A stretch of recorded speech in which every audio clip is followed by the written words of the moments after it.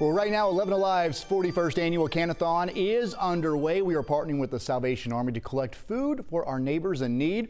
11 Alive's Maria Martin joining us this afternoon at the Salvation Army on Waterman Street in Marietta. So how's it going out there?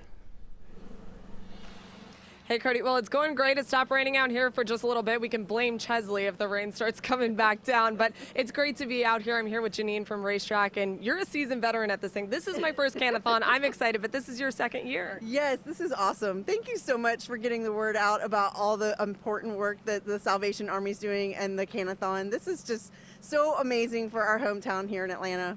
And it's so fun to be out here with you guys because you have a really special guest here. And when the choir of kids saw him, they went crazy. Let's welcome in the freeze.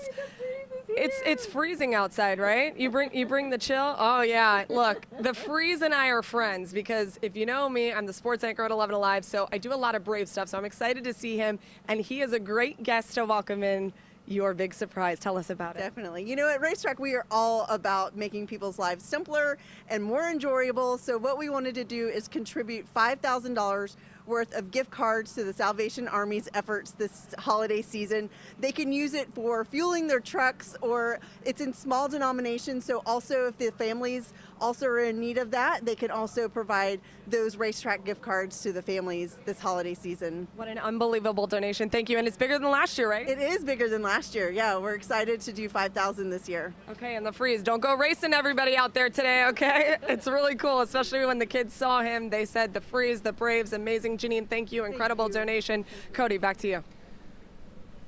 Yeah, much appreciated. Thanks so much to RaceTrac. And if you want to donate like they did, head to 11alive.com slash canathon. You can find ways to give financially or donate cans. In person, we have all of those locations right there.